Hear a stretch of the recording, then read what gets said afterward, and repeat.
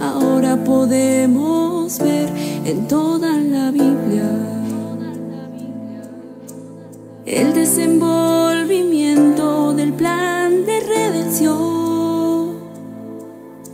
Dios colocó a Adán solo en el reino del Edén y después le hizo una novia con la cual él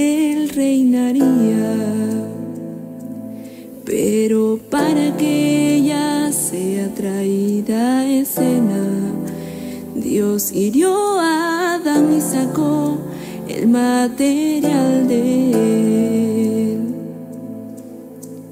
El cordero abierto los siete sellos, ahora podemos ver en toda la Biblia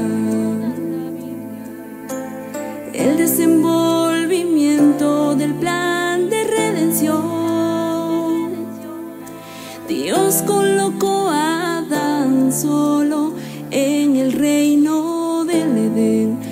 después le hizo una novia con la cual él reinaría. Pero para que ella sea traída a escena, Dios hirió a Adán y sacó el material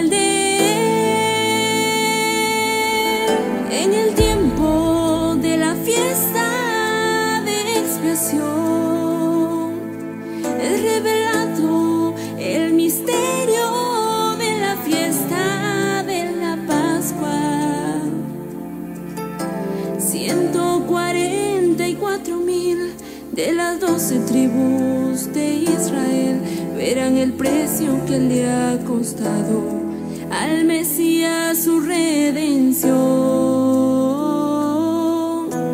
Y seguirán al Cordero por donde quiera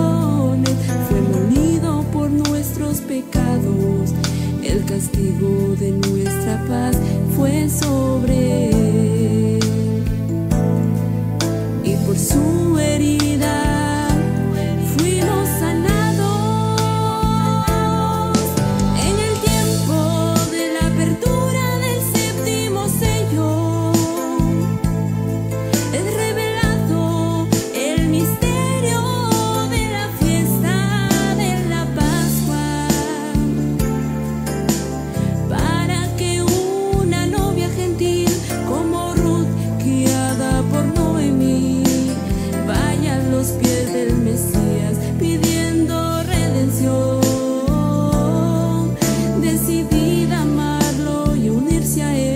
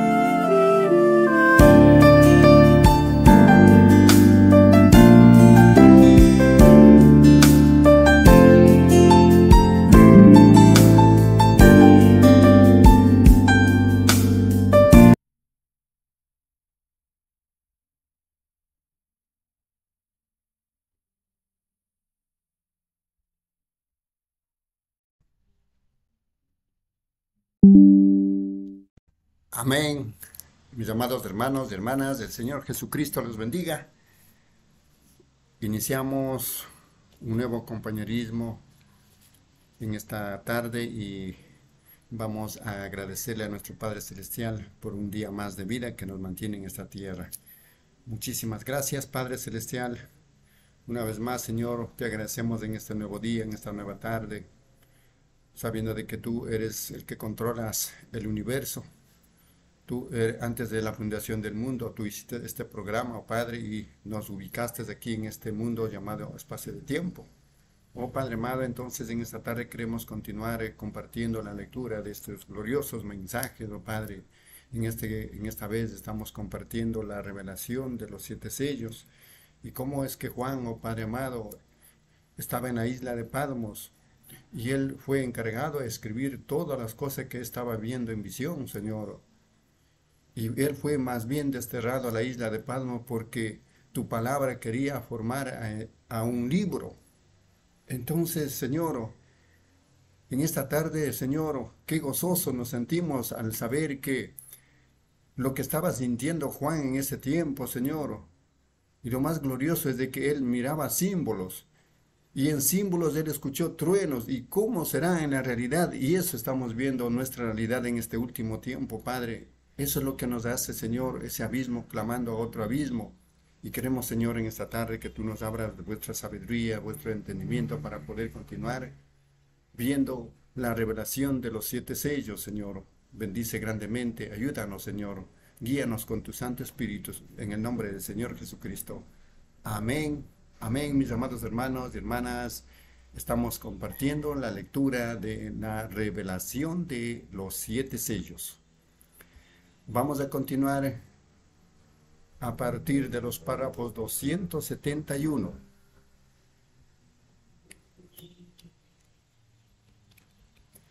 Párrafo 271 dice, ahora, noten ahora, el Espíritu Santo en la revelación y Cristo, el Espíritu Santo es Cristo en otra forma, correcto.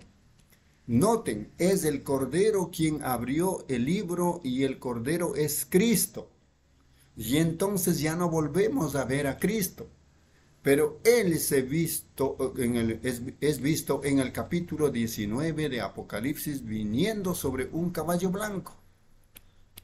Si desean leerlo, abramos en Apocalipsis 19, 11 y leamos rápidamente. Y ahora mientras, mientras tenemos suficiente tiempo, eh, espero y así será mejor para todos nosotros. 19, 19, 11.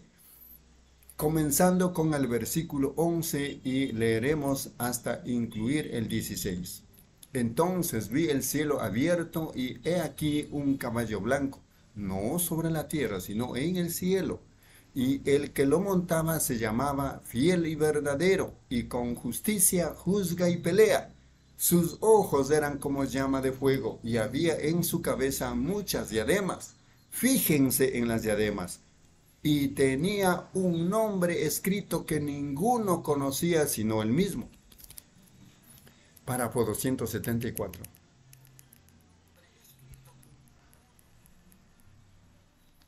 Ojalá pudiera hacer una pausa allí por un momento. ¿Qué cosa? Tengo la intención de, quizás pudiera, si ustedes, la congregación dice, siga. Párrafo 275, vean, nadie lo sabe. ¿Sabían que el nombre de Jehová no es correcto? Cualquiera lo sabe. El doctor Baile, usted sabe que eso es correcto. Los traductores no pudieron traducirlo. Se deletrea J-U-H-B. Quiere decir J-V-H-U. No es Jehová. No pudieron dar como, no pudieron dar con una traducción. No saben cómo será. Le pusieron Jehová, pero ese no era su nombre. Fíjense, cada vez que hay una victoria o que algo significativo sucede, un nombre es cambiado. Fíjense en los días de Abraham. Primero se llamaba Abraham y no les podía nacer el hijo hasta que su nombre fuera cambiado a Abraham. Y Sarai, S-A-R-A-I, no tenía más que un vientre muerto hasta que su nombre fue cambiado a S-A-R-A. Jacob significa suplantador, engañador. Y eso fue lo que él hizo. Se puso una piel de oveja y engañó a su padre, quien era profeta, para obtener la primogenitura. Puso varas de álamo verde en el agua y, y las descortezó para que se viera lo blanco del palo. Y así hizo que las vacas y las ovejas preñadas parieran becerros y ovejas listados, pintados y salpicados de diversos colores. Génesis 30 era nada menos que un engañador. Pero una cierta noche se agarró de algo verdaderamente real, y él supo que era algo real y se mantuvo allí y se agarró hasta el amanecer, hasta que venció, y su nombre fue cambiado a Israel, lo cual significa un príncipe con poder ante Dios. ¿Correcto? Igual con todos los vencedores. Simón era un pescador pero cuando su fe captó y supo que ese era Jesús, cuando le dijo que era el Mesías y le había dicho su nombre y el nombre de su padre, entonces él fue vencido y su nombre fue cambiado de Simón a Pedro. Saulo, un buen nombre. Saúl era una ocasión, fue rey en Israel. Pero él, un Saulo, no era apropiado para un apóstol podía ser correcto para un rey, pero no para un apóstol. Así que Jesús le cambió el, nombre. ¿De qué? De Saulo a Pablo. Fíjense en los hijos del trueno y los demás. Y Jesús, su nombre sobre la tierra era Redentor. Jesús cuando él estuvo en la tierra, él era el Redentor. Correcto. Pero cuando conquistó la muerte y el infierno los venció y ascendió a lo alto, entonces recibió un nombre, un nuevo nombre, perdón. Esa es la razón que gritan y hacen tan, tanto ruido y no reciben nada. Será revelado en los truenos. Ven, noten los misterios. Él viene cabalgando. Tiene que haber algo para cambiar esta iglesia. Ustedes saben eso. Tiene que haber algo. Noten, ninguno conocía sino él mismo. Ahora noten, ninguno conocía sino él mismo. Estaba vestido de una ropa teñida en sangre y su nombre es el verbo de Dios. ¡Oh, qué cosa! Noten. Y los ejércitos celestiales vestidos de lino finísimo, blanco y limpio, le seguían en caballos blancos. De su boca sale una espada aguda para herir con ella a las naciones, y él las regirá con vara de hierro, y él pisa el lagar del vino, del furor y de la ira del Dios Todopoderoso. Y en su vestidura y en su muslo tiene escrito este nombre, Rey de Reyes y Señor de Señores. Allí viene el Mesías. Allí está. No este acá sobre este caballo. Miren la diferencia. Aquí está con el libro en la mano. Aquí la obra de redención. Él aún no había tomado su lugar, así que este que salió no es el Cristo, el Espíritu Santo. No para estar en desacuerdo con todos grandes hombres. No, Señor, yo no hago eso. Yo no desearía hacer eso, pero esto es lo que es, lo que es mi revelación al respecto. Ven, si usted tiene algo distinto, pues eso está bien, pero no está bien conmigo. Vean, yo, yo lo creo de esta manera. Vean, ahora, ustedes saben, ven, párrafo 287, y noten, Cristo ya no es visto más desde ese tiempo allí. Pero Él está sobre un caballo blanco, entonces si esta persona está montada en un caballo blanco, no es más que un impostor de Cristo. ¿Ven? ¿Entienden? Amén. Noten, el jinete sobre este caballo blanco no tiene nombre.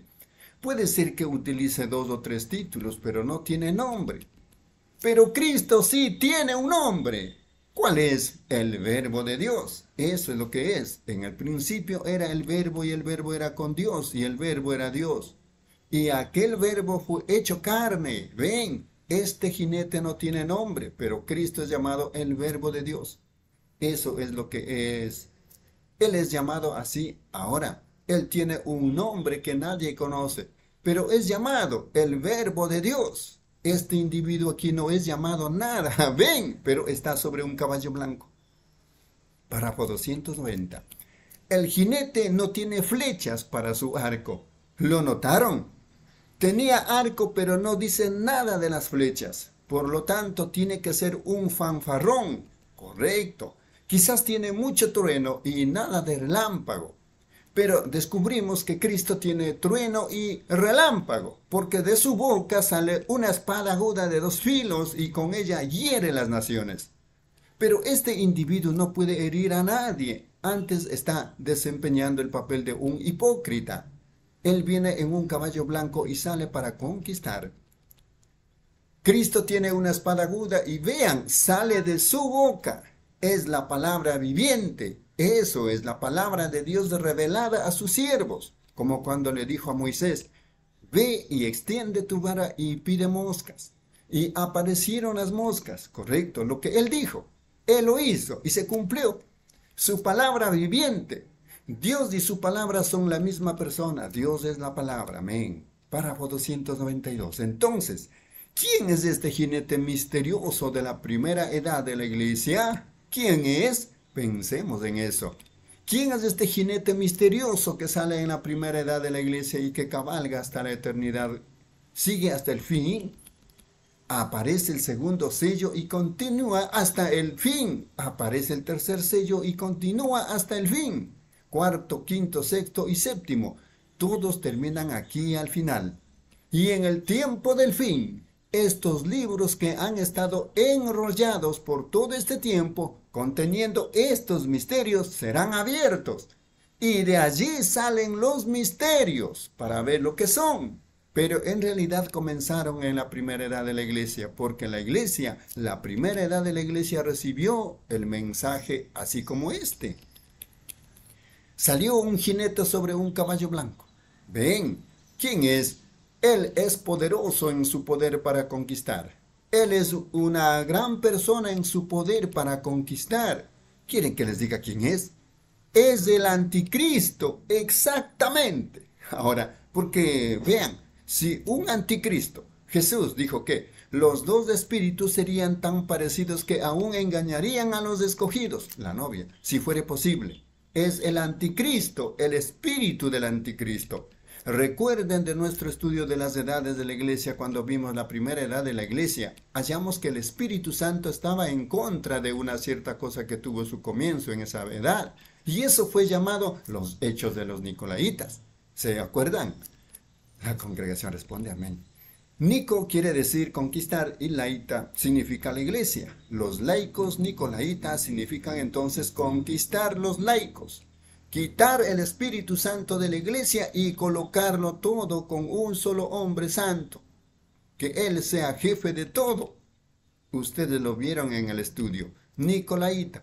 Noten que Nicolaita fue un dicho en una edad de la iglesia, pero llegó a ser una, una doctrina en la próxima edad de la iglesia y en la tercera edad de la iglesia fue un forzamiento y tuvieron el concilio de Nicea y entonces fue establecido como una doctrina en la iglesia. ¿Y qué fue la primera cosa que sucedió? Allí nació una organización.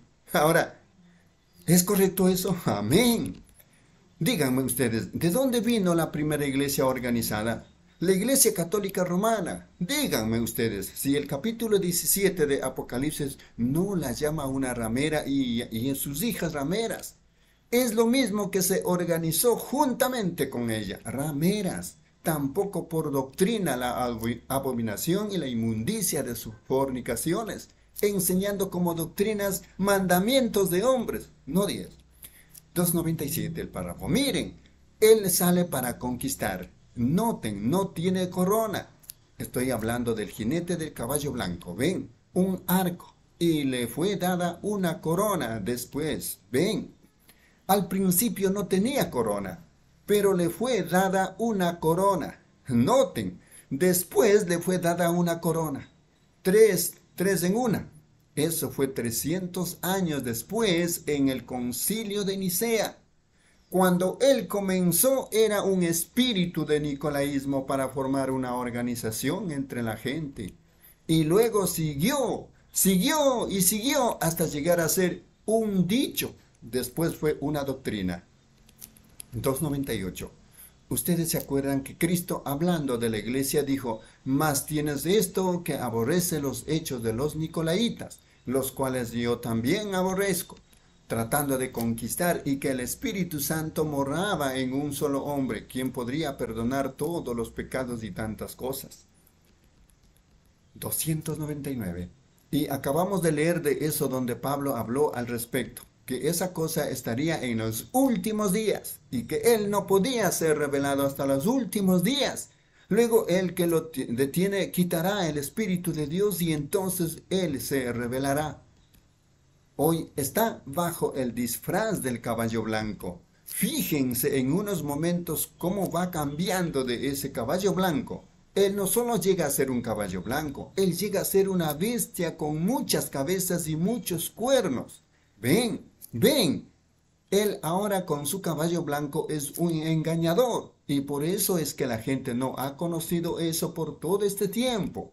Ellos lo pensaban, pero ahora Aquí está, será revelado por las escrituras. No 10, 301 el párrafo.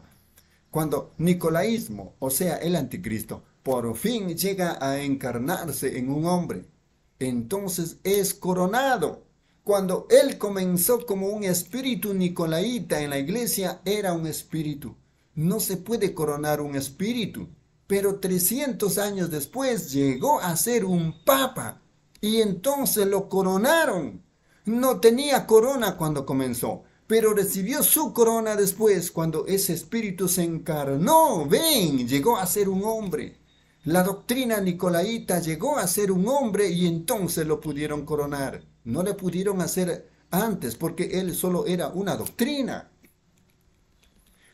Gloria, noten, y cuando este Espíritu Santo que tenemos llegue a encarnarse para nosotros, el ser que está en nuestro medio ahora mismo en la forma del Espíritu Santo llega a encarnarse para nosotros en la persona de Jesucristo. Entonces nosotros le coronaremos como Rey de Reyes. Correcto, ven. Ahora recuerden, al mismo tiempo que Jesús llegó a un trono, también llegó a un trono el anticristo. Judas. Cuando Cristo salió de la tierra, también salió Judas. Luego, cuando el Espíritu Santo regresó, también regresó el anticristo. Ustedes saben, Juan dijo por aquí, hijitos, no quisiera que estuvierais ignorantes en cuanto al anticristo, el cual ya es venido y está obrando entre los hijos de desobediencia. Entonces el anticristo. Allí estaba comenzando a formar el espíritu nicolaíta para formar una organización. Con razón, yo siempre odiaba eso. Ven, ven, allí lo tienen. No fui yo, sino algo aquí por dentro. Allí está la cosa y ya salió a la luz. ¿Lo ven? Amén. Yo estaba dando vueltas por todos lados del asunto. No podía verlo hasta ahora. Hoy lo sé, allí está el espíritu nicolaíta, el cual Dios odiaba. Y ahora ese espíritu llegó a encarnarse y lo coronaron. Y aquí mismo está lo que la Biblia dice que harían al respecto. Perfecto. ¡Oh, qué cosa! Encarnado. Llegó a ser un hombre y le coronaron. Lean, noten, o sea, leamos como Daniel dice que éste se apoderaría del reino religioso. ¿Desean leerlo? La congregación responde, tenemos suficiente tiempo para leerlo.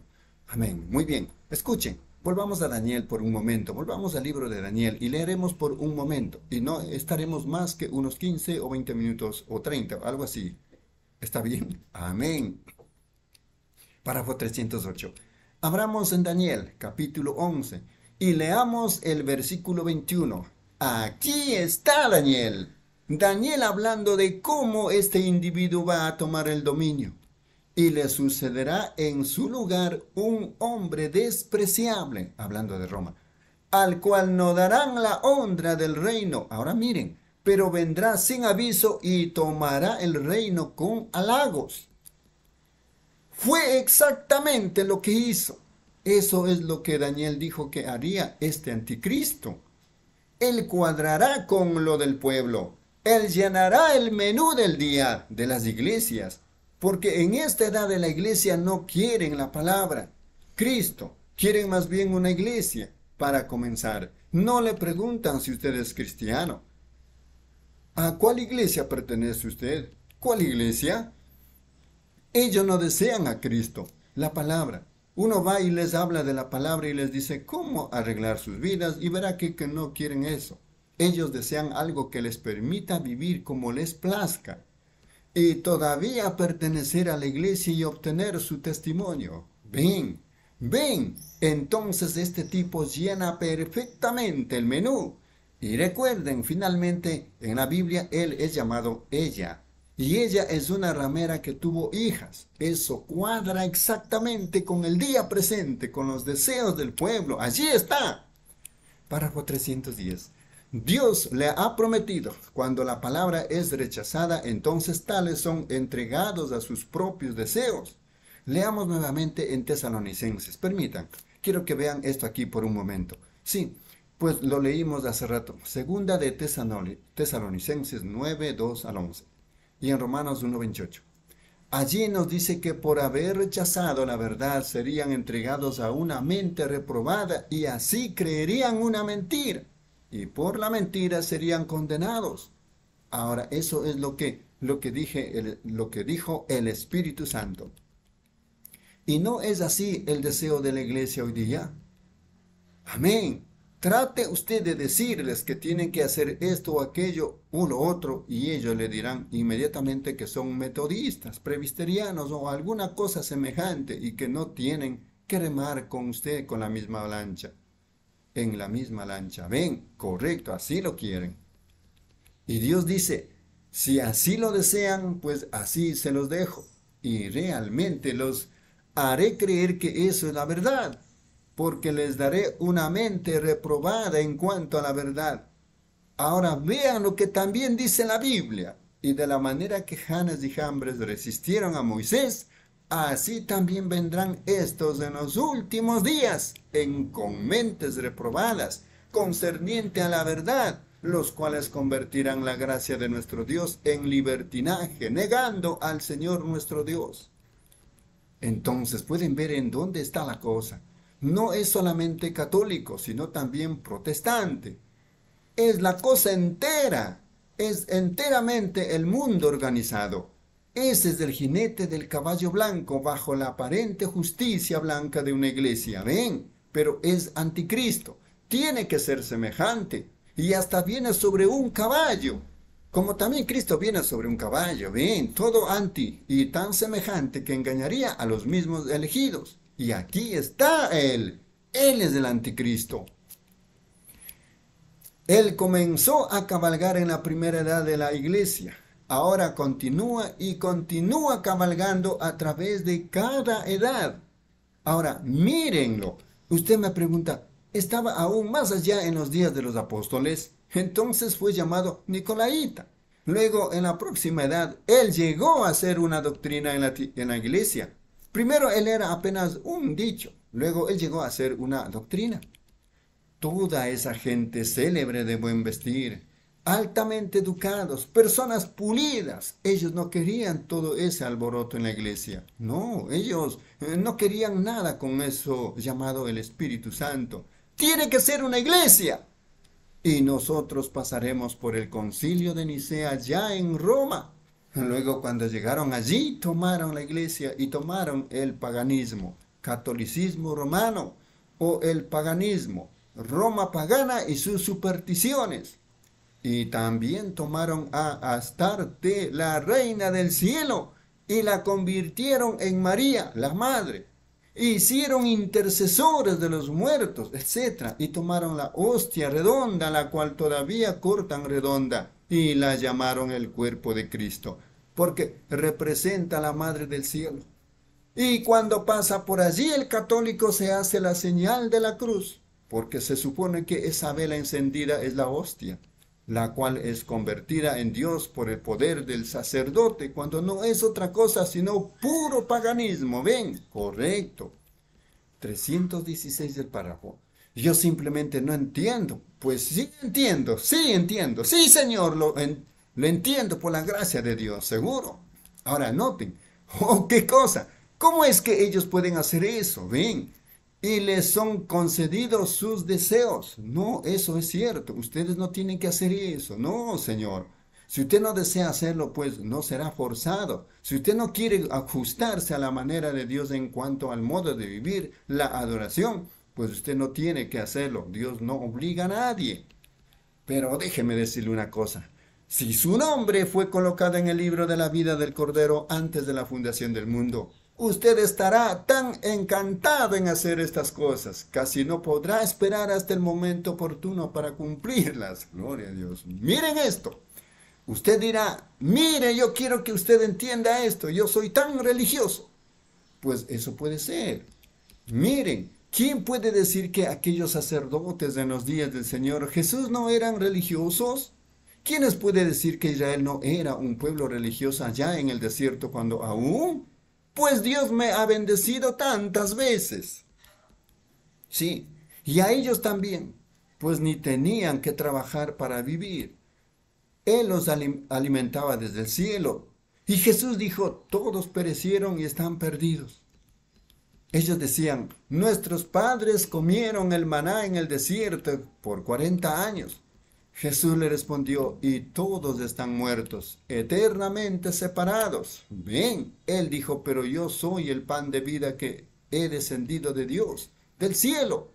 Si alguno comiere de este pan, jamás morirá. Ven, él es el árbol de la vida. Noten cómo y cuándo vino Jesús. Aquellos sacerdotes que vinieron allí, ellos eran muy religiosos Nadie podía decir que no eran hombres finos. Ellos cumplían con la ley al pie de la letra. Todo lo que la iglesia decía, ellos lo cumplían. De otra manera los apedreaban. Y entonces él salió. ¿Saben cómo los llamó Jesús? Juan les llamó generación de víboras. No estén pensando que porque pertenecen a esa organización tienen algo que ver con Dios. Y Jesús les dijo, vosotros sois de vuestro padre el diablo porque cada vez que Dios envió un profeta, ¿qué ocurrió? Vosotros lo apedrasteis y lo echasteis en la tumba, y ahora os ocupáis en blanquear su tumba. Párrafo 325. No es lo mismo que ha hecho la Iglesia Católica. Fíjense en Juana de Arco, San Patricio y los demás. Ellos son los que los enterraron. Y luego, como unos 200 años después, desenterraron el cuerpo de Juana de Arco y echaron a aquellos del río. Antes la, habían quemado como una bruja. Sois de vuestro padre el diablo y sus obras seis. Exactamente. Esto correrá por todo el mundo. Ven, correcto. Eso es lo que dijo Jesús. Y ustedes piensan que está bien, el caballo blanco parece muy bonito, pero miren lo que tienen. Ese es, de, ese es exactamente quien lo cabalga. Ahora, pero él dijo que así lo deseaban. Así que él les daría un poder engañoso. Segunda de Tesalonicenses 2.11. Recuerden, esta prostituta de Apocalipsis 17 era el misterio. Misterio Babilonia, la madre de las rameras. Y Juan la admiraba, así como este hombre. Miren, esperen, llegaremos a eso y lo veremos mirando este caballo. Ven, pero ustedes notaron que fue lo que sucedió, que fue, esto, que en la admiraba, él la admiraba con gran admiración, pero el misterio era que ella veía bebía la sangre de los mártires de Cristo. Era una iglesia hermosa sentada allí, ataviada con púrpura y oro, y tenía una copa en su mano llena de la suciedad de sus fornicaciones. ¿Qué es la fornicación? Es vivir inicuamente. Y esa es la doctrina que ella estaba proporcionando, invalidando la palabra de Dios con su Ave María y demás cosas, y la estaba repartiendo, y los reyes de la tierra cometieron fornicaciones con ella. Usted me dirá, pues esa es la iglesia católica. Párrafo 330. Pero ella es la madre de rameras, y son iguales como ella. Allí lo tienen. ¿Qué pasó? Cuando el reformador murió y su mensaje también murió, entonces la organización y eligieron a unos irresponsables y le dieron otra dirección al asunto para vivir de la manera que querían. No se quisieron quedar con la palabra. En vez de moverse adelante con la palabra, se quedaron allí diciendo, esto es, no hagan eso, allá está lo verdadero. Él allá arriba, Noten, esa es una cosa, deseamos mencionar otras dos cosas antes de terminar. Este es el príncipe que habría de destruir el pueblo de Daniel. ¿Lo creen así? Ahora, si me ayudan y me permiten unos momentos, me, voy a apurar lo más posible, pero quiero hacerle, hacerlo positivo, porque así como estoy cierto de estar parado aquí, también sé que el Espíritu Santo me dio estas cosas. Ven, ven. Ahora, volvamos a Daniel por un momento. Deseo leer algo para ustedes que si no desean abrir allí, está bien, deseo leer de Daniel 9, Daniel 9. Y deseo leer los versículos 26 y 27 de Daniel 9. Y vean si él no es el que destruirá el pueblo de Daniel y lo que va a hacer. Y después de las setenta y dos semanas se quitará la vida al Mesías. Ven, allí son las 72 semanas cuando él sería quitado. 62 semanas, perdón, 62 semanas. De entre las 70 semanas. Mas no por sí. Y el pueblo de un príncipe, eso es esta jerarquía que ha de venir, que ha de venir, destruirá la ciudad y el santuario y su fin será con inundación y hasta el fin de la guerra durarán las devastaciones. Quiero hacerles una pregunta después de que Cristo fue quitado de la tierra al fin de los tres años y medio de su ministerio. ¿Qué fue lo que destruyó el templo? ¿Quién lo destruyó? Fue Roma. Cierto, Constantino. No, perdónenme, fue Tito, el general romano. Él destruyó el príncipe. Ahora noten, ahora fíjense en este tipo. Viene bajando por aquí cuando nació Jesús, el dragón escarlata en el cielo se paró ante la mujer para devorar a su hijo tan pronto como naciera. ¿Correcto? Congregación responde, amén. ¿Quién fue el que trató de devorar el niño cuando nació? Roma. Roma, ven, allí está el dragón escarlata, allí está el príncipe, aquí está la bestia, ven, Allí están todos exactamente igual para devorar al niño. Dios lo arrebató al cielo para que se sentara en su trono. Allí está Cristo ahora hasta el tiempo determinado. Ven, ahora observen lo que Él hará.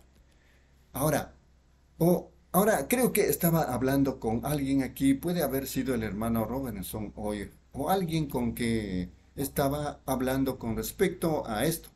No sobre esto, pero algo parecido. Creo que no hace mucho de que prediqué sobre esto, lo que le va a suceder a los Estados Unidos en cuanto al asunto monetario. Ven, pues ahora mismo estamos pagando nuestras deudas nacionales con dinero que el gobierno deberá recoger en impuestos dentro de 40 años en el futuro.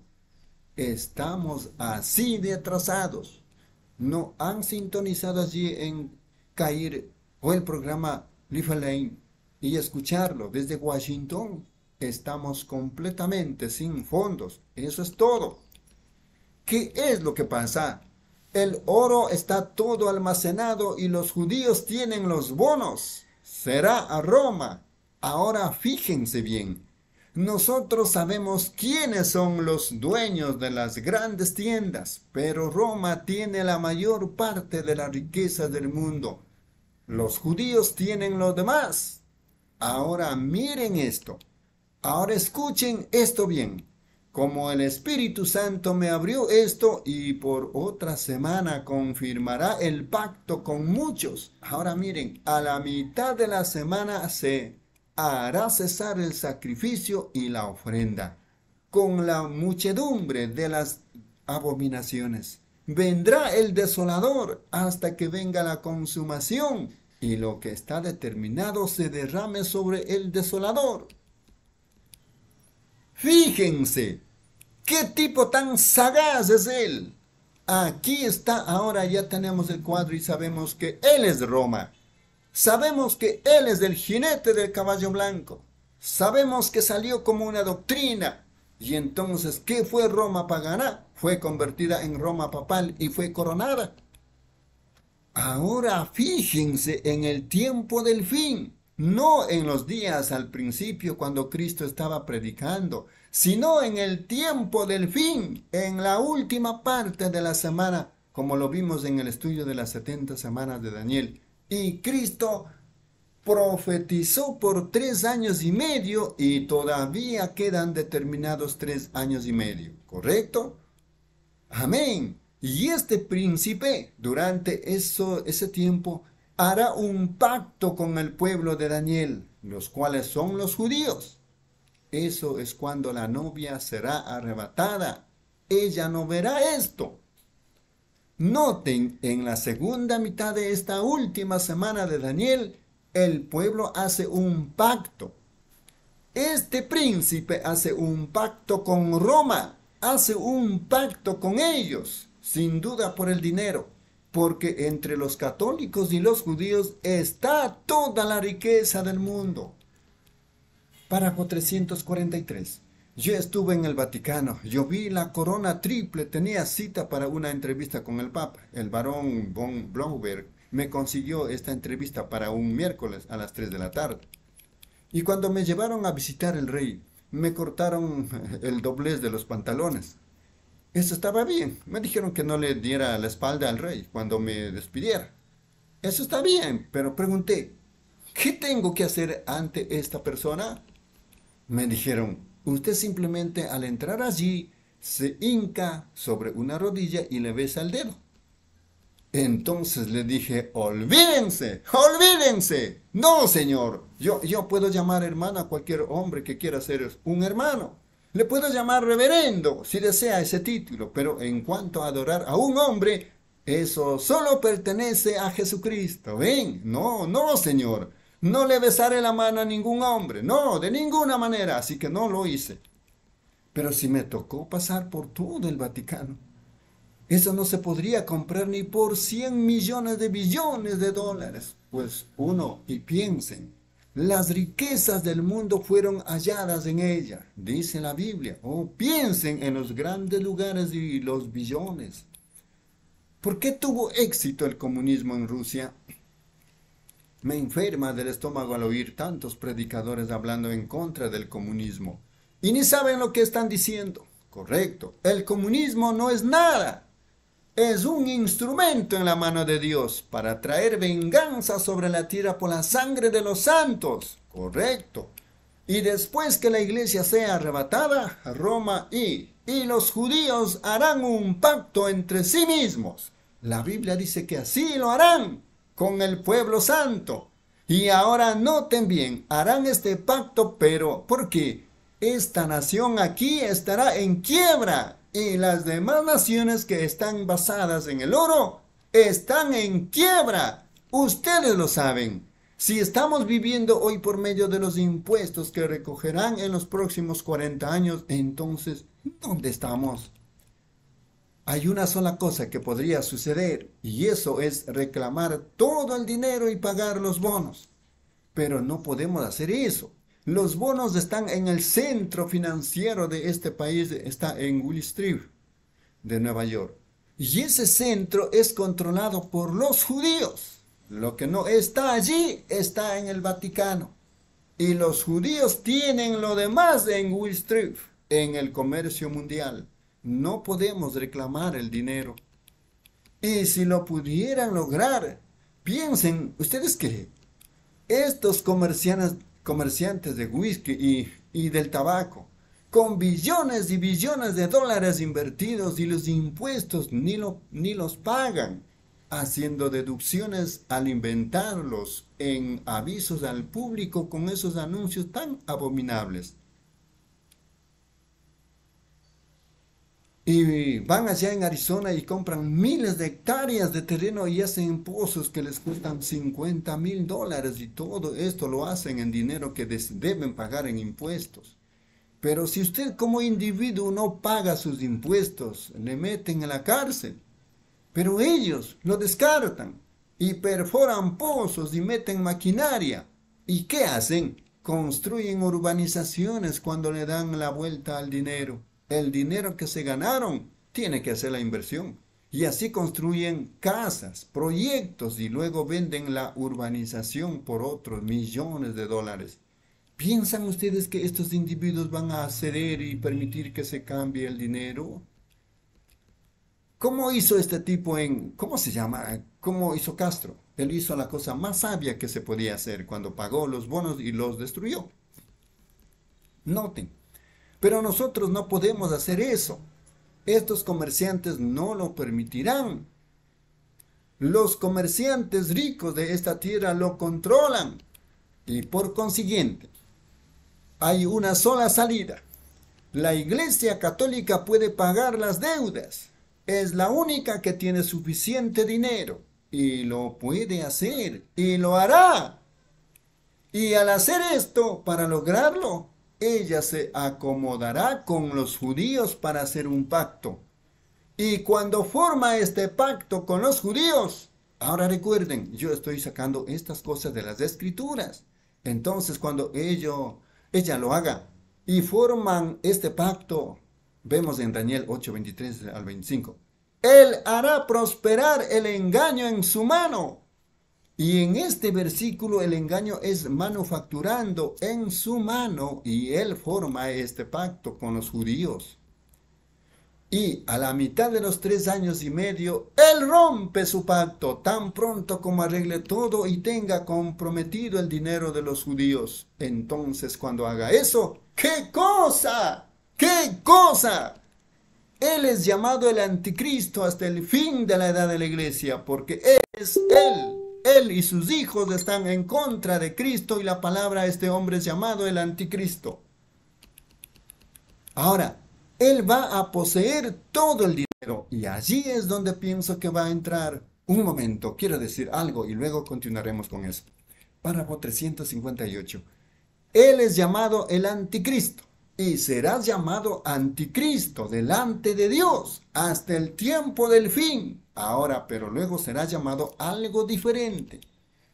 Ahora, cuando Él tenga todo el dinero bajo su control, entonces romperá este pacto que habrá hecho con los judíos, como dijo Daniel que haría. Durante la segunda mitad de la semana se, septuagésima de Daniel entonces, hermano, ¿qué hará?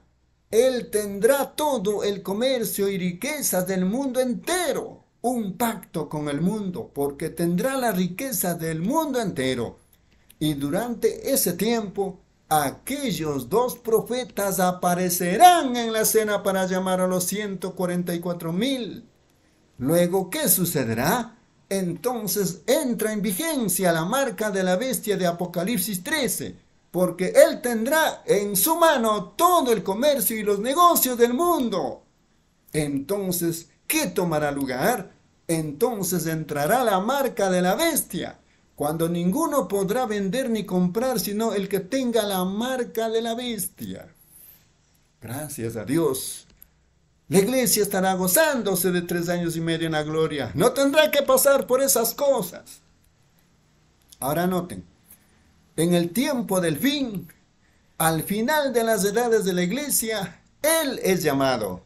Él y sus hijos son llamados el anticristo, porque cualquier cosa que es en contra de Cristo es anticristo.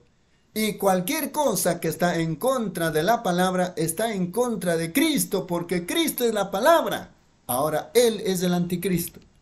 Luego en Apocalipsis 12, 7 y 9, hasta el 9. Cuando Satanás es echado el acusador, si lo quieren anotar porque deseo que lo lean, ya no tenemos tiempo, faltan 15 para las 10, ven, pero en Apocalipsis 12, 7 9, Satanás, el espíritu, el diablo, el cual está allá arriba ahora mismo, acusador de nuestros hermanos. Muy bien, la iglesia es arrebatada y Satanás es echado. Cuando la iglesia sube. Satanás baja Luego Satanás mismo se encarna en el, en el anticristo y es llamado la bestia. Luego en Apocalipsis 13, él establece la marca. Ven. Párrafo 364. El que ahora detiene. El cristianismo está aún sobre la tierra en su pureza por razón de el que detiene Gloria a Dios. Recuerden en Tesalonicenses, sentado en el templo de Dios, llamándose Dios, perdonando los pecados sobre la tierra, y eso continuará, y la maldad se multiplicará, porque todavía no será conocido hasta que llegue el tiempo cuando sea revelado. Y entonces la iglesia será arrebatada. Y cuando es arrebatada, entonces Él se cambia de anticristo. ¡Oh, qué cosa! La iglesia, la gran iglesia, aquello. Pero entonces llega a ser la bestia. Ojalá yo pudiera hacer que la gente vea eso. Ahora recuerden, el anticristo y la bestia es el mismo espíritu. Allí está la Trinidad. Sí, Señor. Son tres etapas del mismo poder diabólico. Recuerden que Nicolaita tenía que ser encarnado antes de poder ser coronado. Ven, ahora fíjense en estas tres etapas. En la primera etapa, él es llamado anticristo. En la segunda etapa es llamado el falso profeta. Y en la tercera etapa es llamado la bestia. Noten, Nicolaísmo, la enseñanza anticristo que comenzó en los días de Pablo en contra de la palabra de Dios, anticristo. Luego es llamado el falso profeta, porque cuando la enseñanza llegó a ser un hombre, él era el profeta de la enseñanza de la, la jerarquía de la iglesia católica. El papa era el profeta de la palabra falsa y eso lo hizo un falso profeta. Gloria a Dios. La tercera etapa es una bestia, un hombre que será coronado en los últimos días, con todo el poder que tuvo en la corona pagana. Tuvo la Roma pagana, perdón. Voy a repetir esta parte. Párrafo 370. La tercera etapa es una bestia, un hombre que será coronado en los últimos días, con todo el poder que tuvo la Roma pagana porque la bestia con siete cabezas, el dragón, fue echado del cielo y se encarnó en el falso profeta. Allí está. Tenía siete coronas y fue echado a la tierra y en el mar. Muy bien. ¿Qué estamos diciendo? ¿Quién es este jinete del caballo? ¿Saben quién es? Es el superhombre de Satanás. Hace unos días, dos hermanos y yo, el hermano Norman y el hermano Fried, fuimos a escuchar a un hombre enseñar sobre el anticristo. Era un hombre bien conocido, uno de los mejores que tenían las asambleas de Dios. Y su interpretación del anticristo es que tomarán, tomarán una vitamina de alguna clase, la sacarán de un, de un hombre y transferirán esta vida del hombre a una imagen, la cual al ir, al ir caminando tomará pasos del tamaño de una cuadra entera. Y eso es Pueden imaginarse un hombre lleno del Espíritu Santo, según dice él, bajo un engaño como ese. Cuando aquí está la Biblia y dice quién es el anticristo, no es un, es un hombre. Noten, este jinete es nada menos que el superhombre de Satanás, el diablo encarnado. Él es un genio educado. Ahora, ojalá tengan abiertos sus oídos. No hace mucho entrevistaron a uno de sus hijos en la televisión para ver si era más inteligente que otro si tenía capacidad para ser presidente. Ven, pero de todos modos, él tiene mucha sabiduría y Satanás también. Él la trata de vender. Se la vendió a Eva. La ha vendido a nosotros. Nosotros hemos estado anhelando un superhombre. Ahora lo tenemos muy bien. El mundo entero ha estado anhelando un superhombre y ya les va a llegar tan pronto como la iglesia suba y Satanás sea echado, entonces se encarnará. Correcto, ellos quieren uno que en verdad pueda lograr algo y él lo hará. Educado. Este es el superhombre de Satanás, con educación, con sabiduría, con teología eclesiástica en sus propias palabras y de su propia hechura y viene montado sobre un caballo blanco denominacional para engañar a la gente. Y él conquistará todas estas, todas estas religiones del mundo, porque todos están entrando en la gran confederación mundial de iglesias. Ya tienen construidos todos sus edificios y todo está listo. Ya no queda nada. Todas las denominaciones están metidas en esta confederación de iglesias. ¿Y quién es que respalda este movimiento? Roma. Y el Papa ahora está diciendo, todos somos uno. Juntémonos y caminemos juntos. Y esta gente con y esta gente, aún algunos de ustedes que son del evangelio completo, tienen que negar sus enseñanzas evangélicas para tomar ese paso. ¿Qué han hecho? Tan ciegos a esa cosa denominacional que han rechazado la verdad y cuando la verdad les fue presentada, le dieron la espalda y se marcharon. Y ahora les ha sido enviado un poder engañoso para que crean a la mentira y por ella sean condenados. Exactamente lo que es. 376 el párrafo. Y el anticristo lo toma todo. Y la Biblia dice que el engaño él engañó a todos, T-O-D-O-S, sobre la faz de la tierra, cuyos nombres no fueron escritos en estos sellos desde la fundación del mundo. Ahora, si la Biblia dice que lo hizo, entonces lo hizo. Dicen, pues yo pertenezco a... Así lo tienen, exactamente.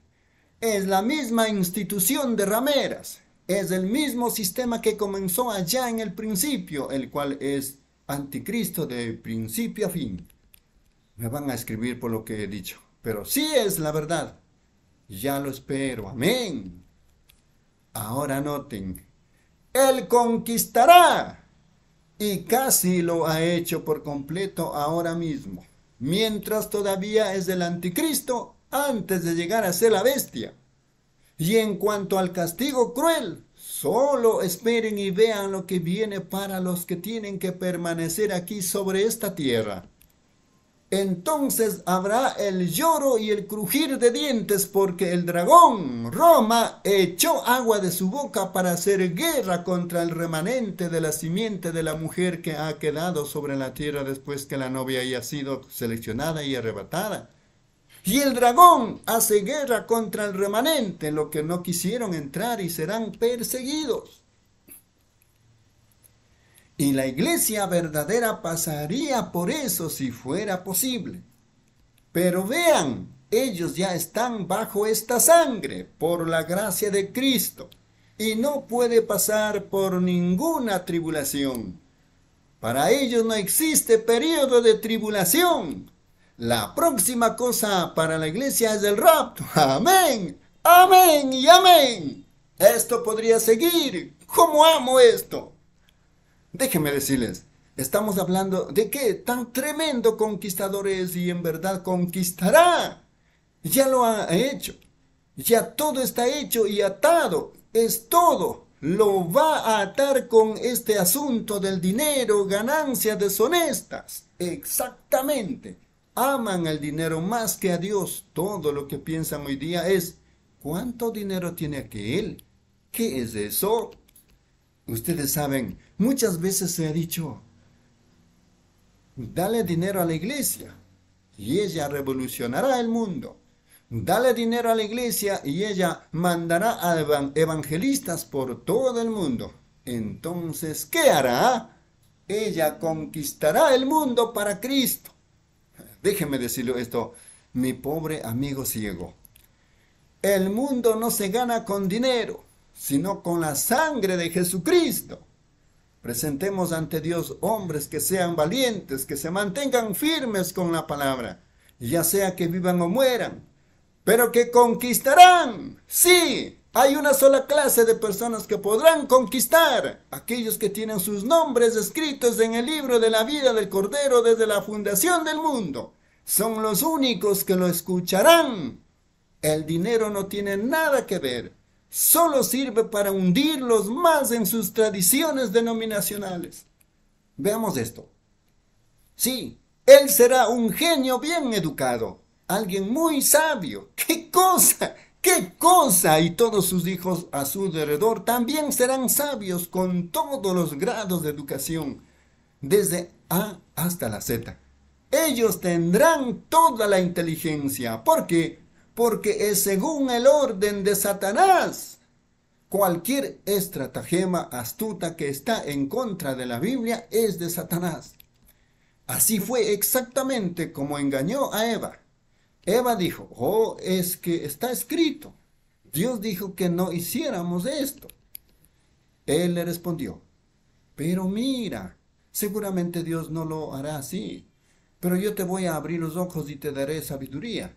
Ella la obtuvo. Nosotros lo hemos estado deseando.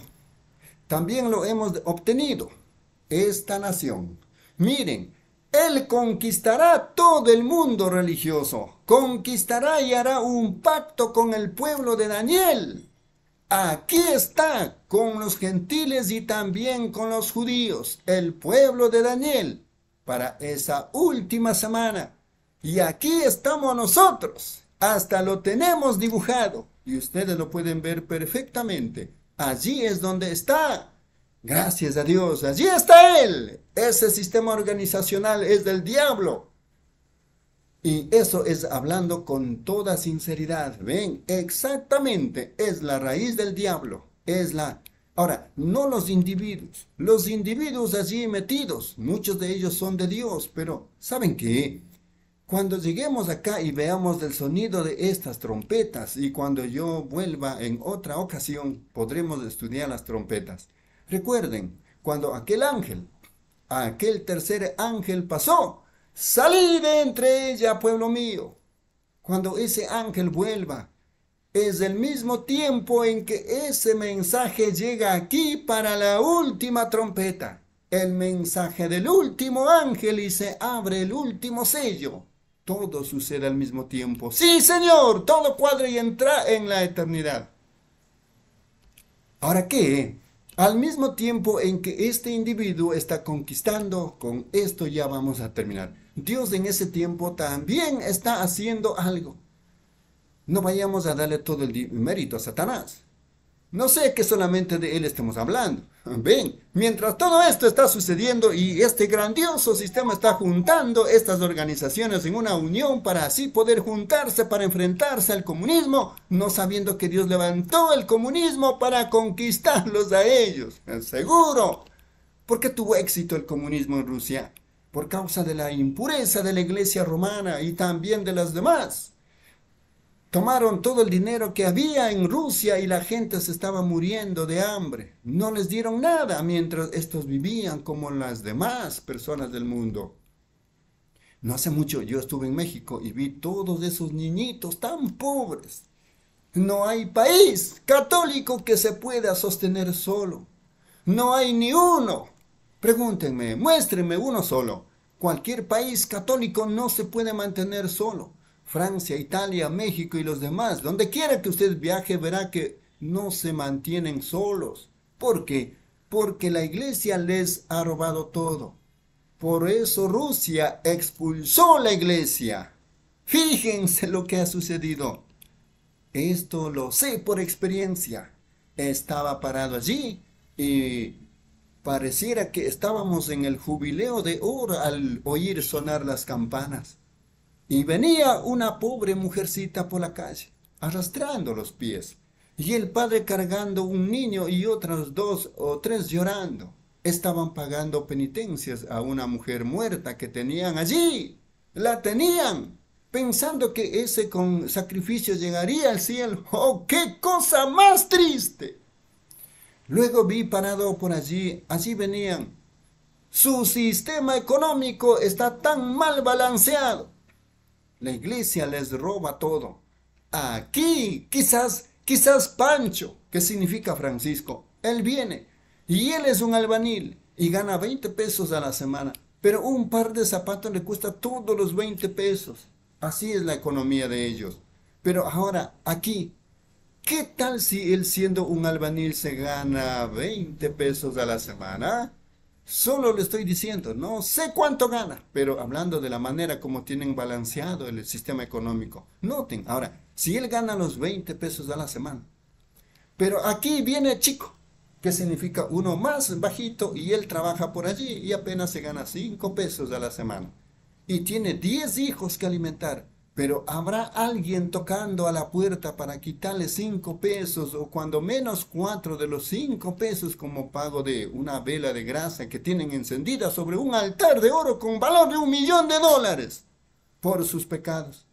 Así lo tienen.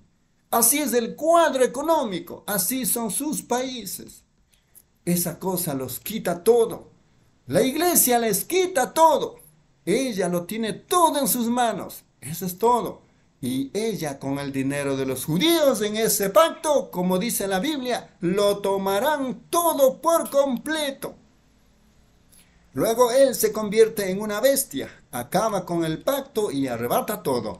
Y saca a la fuerza lo que ha quedado de la simiente de la mujer, y arrojará agua de su boca y hace guerra. Y habrá llanto, lloro y el crujir de dientes. Y en ese mismo tiempo la novia se está casando allá en la gloria. Amigos, no se pierdan eso. Que Dios me ayude. Yo, yo quiero estar allí. No importa lo que sucede, lo que cueste. Yo, yo quiero estar allí.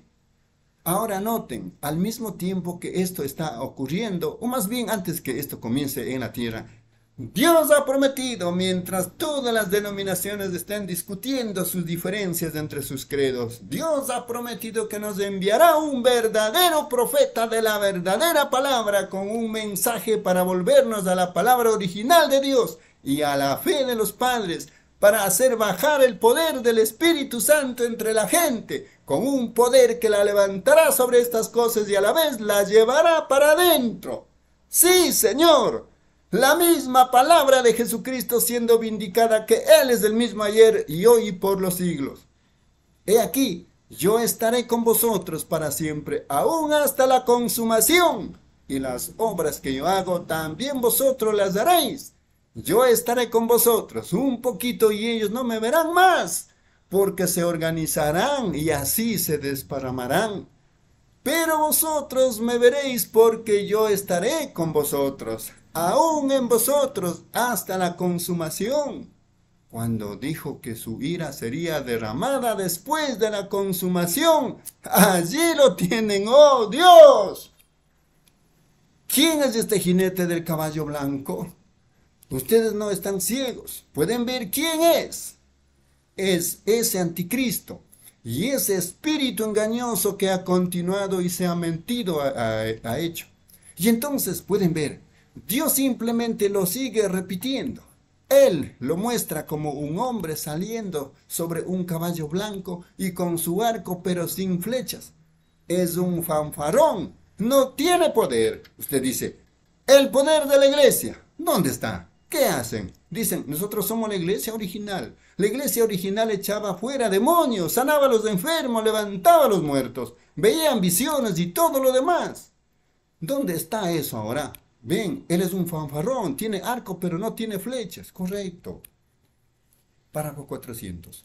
Pero pueden ver en la venida de Cristo una espada sale de su boca, como un destello de relámpago Repito este párrafo, 400.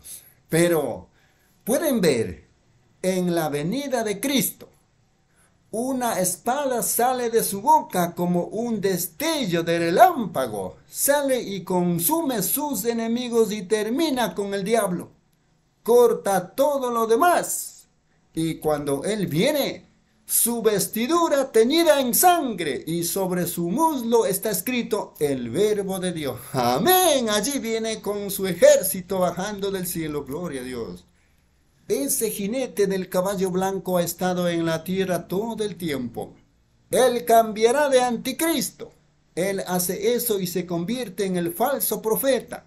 Vean, primero comenzó como anticristo, el espíritu. Luego llegó a ser el falso profeta. Después, cuando el diablo se ha echado, es encarnado con el diablo.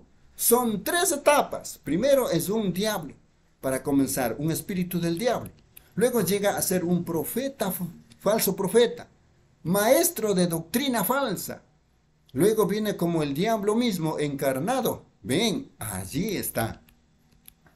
Y al mismo tiempo que este diablo cae del cielo y llega a ser encarnado en un hombre, el Espíritu Santo sube y viene bajando encarnado en hombres. Amén. Oh, qué cosa, qué tiempo. Mañana por la noche, Dios mediante veremos el segundo sello. ¿Lo aman? La congregación responde, amén. ¿Creen esto? Gloria a Dios. He apagado las cintas. Yo sé que habrán muchas cartas en cuanto a esto. Ustedes lo saben. Pero así lo espero. Déjenme decirles algo, hermanos.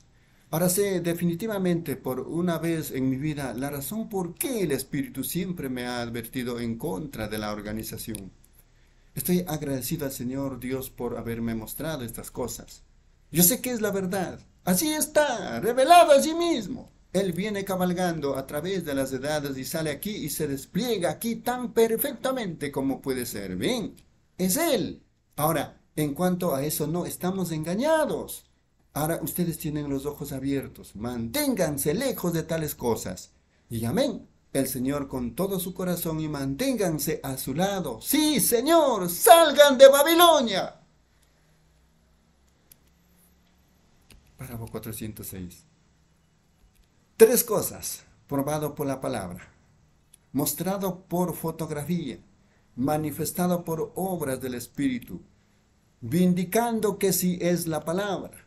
Permite que la palabra descienda sobre estos pañuelos, Señor. Sana a los enfermos, Señor. Sana a toda persona enferma presente aquí y aquellos allá que escriben y llaman. Padre, en esta hora hay otra sanidad que debe ser obrada ahora mismo y podemos proseguir el culto de sanidad, pero Señor, es el alma. Deseamos eso en orden, Señor, y estas cosas deben seguir. Oramos Dios, que tú ahora tomes estas palabras que han sido habladas y haz que sean real para la gente. Señor, permite que ellos puedan verlo, estando corto de tiempo. Y tú sabes, Padre, así que espero que se haya dicho lo suficiente, que el Espíritu Santo lo tomará y lo revele en el corazón. Los que han apuntado las escrituras que los estudien, los que están grabando la cinta o, o sea, los que están escuchando las cintas, que lo estudien y que no le pongan su propia interpretación, pero simplemente que estudien la palabra. Concédelo, Padre, en el nombre de Jesús. Entrego todo esto a ti para tu gloria. Amén. Un hermano profetiza y luego la congregación se regocija. Amén. Oh, gracias, gracias Jesús. Oh, si hubiera alguien aquí que no lo conoce a Él en el perdón, hágalo ahora mismo. Han oído esa represión dura y directa. Si esperan acercarse, háganlo ahora mismo, porque por muchos días después, ¿qué si ese en verdad fue la apertura de ese sello? ¿Qué si ese fue el ángel que fue enviado, que produjo el estruendo, que casi me levanta de la tierra el otro día estando allá? Cuando hubieron tres testigos parados cerca y que les dije antes de ir allá que habría una explosión que casi me levantaría, y yo fui recogido por siete ángeles que venían hacia el oriente, la cosa casi me levantó del suelo. No fue así, hermano Norman y hermano Fritz Solman, que estaban parados allí conmigo cuando esto ocurrió allí arriba en de Tucson, y él, él estaba sentado, quitando las espinas de la ropa, exactamente lo que la visión había dicho. Y fue hacia el sur, hacia Tucson. Si eso es correcto, levanten la mano, hermano Fritz y hermano Norman.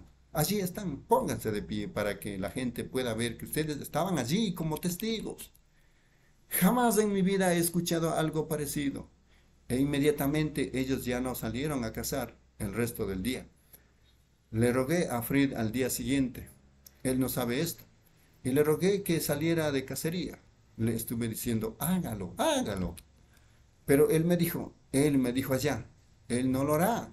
Tú vas a salir hacia el oriente ahora mismo y esos siete ángeles, con el primer estruendo, se abrió. Sí, ¿qué tal si es así? Estamos en la última hora. Ven, yo le amo.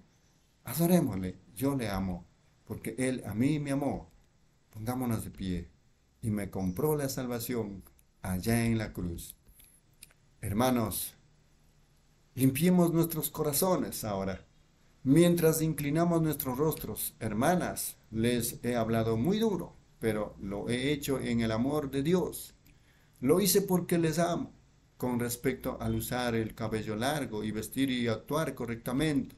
Lo he hecho por razón del amor de Dios. Purifiquémonos ahora nuestra conciencia por, por medio del cloro de Dios.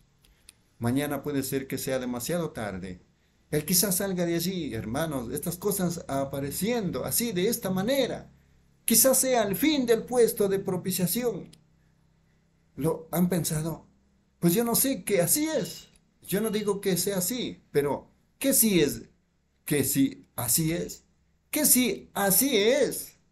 ¿Qué de eso? Ya, ya no hay redención. Para entonces habrá cesado. Ojalá no sea así. Pero existe la posibilidad que así es. Yo le amo. Yo, Señor, límpianos, porque Él a mí me amó y me compró la salvación allá en la cruz. Alabado sea el nombre del Señor.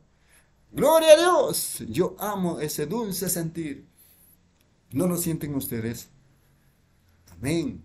Simplemente el Espíritu Santo bañándolo a uno caminando con uno. ¡Oh, cuán maravilloso! O piensan en su misericordia. Yo le amo, yo le amo porque Él a mí me amó y me compró la salvación allá en la cruz. Amigo, no se le olvide, no se les olvide. Llévenlo así a la casa, manténganlo cerca, guárdenlo allí en la almohada. No se les olvide, manténganlo cerca. Dios les bendiga el hermano Neville y su pastor hasta mañana en la noche. Amén. Amén, mis amados hermanos hermanas. De esta manera hemos concluido este primer sello del libro de la revelación de los siete sellos. Si Dios permite, el día de mañana continuaremos con el segundo sello. Nos despedimos. Gracias, Padre Celestial por este glorioso privilegio que tú nos das de día a día, Señor, nuestro profeta.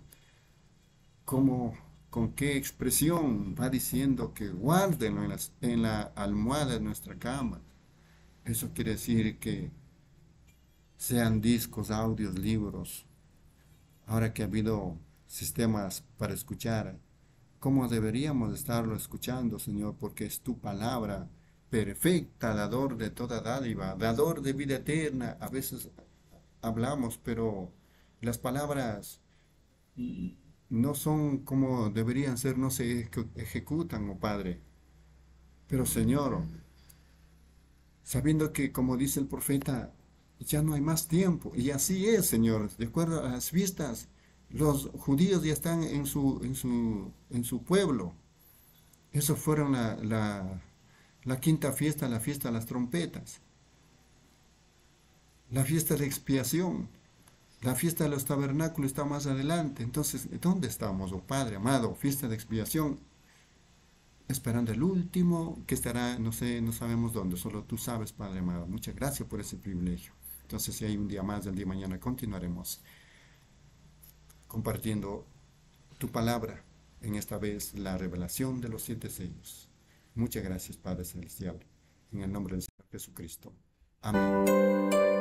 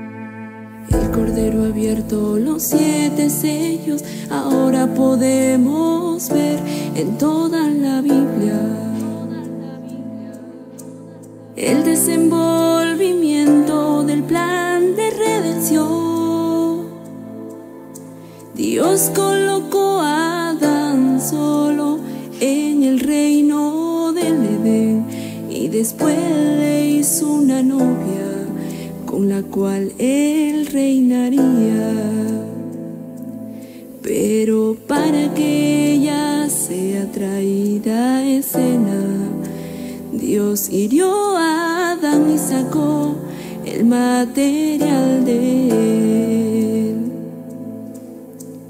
El cordero abierto los siete sellos, ahora podemos ver en toda la Biblia el desenvolvimiento del plan de redención. Dios colocó a Adán solo después le hizo una novia con la cual él reinaría. Pero para que ella sea traída a escena, Dios hirió a Adán y sacó el material de él. En el tiempo de la fiesta de expiación,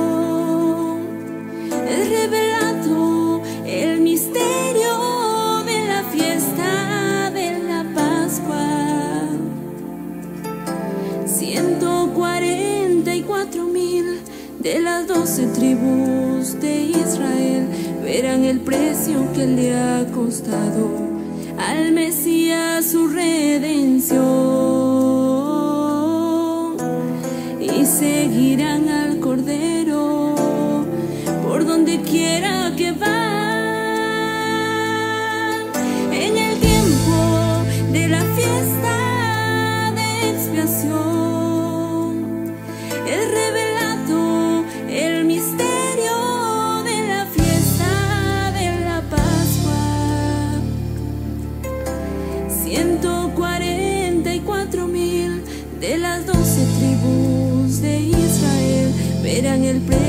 que le ha costado al Mesías su redención. Y seguirán al Cordero por donde quiera que va.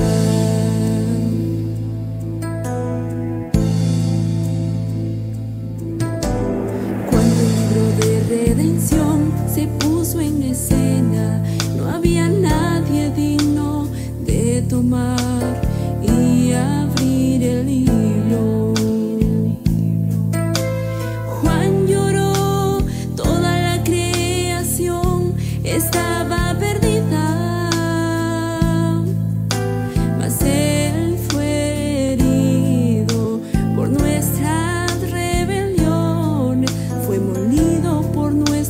Africa.